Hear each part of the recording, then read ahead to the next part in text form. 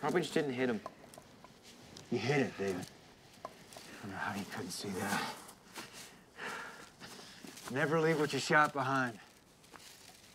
Damn dog, we could find it right away. A dog when I was little. Why don't you have one now? Since you're,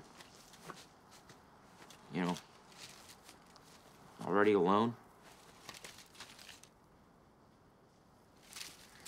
Isn't that what dogs are for? I don't know what dogs are for, David.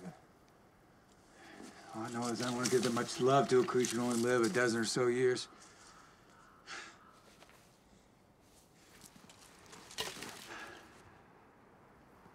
A bird must have run off and hidden itself to die in the darkness.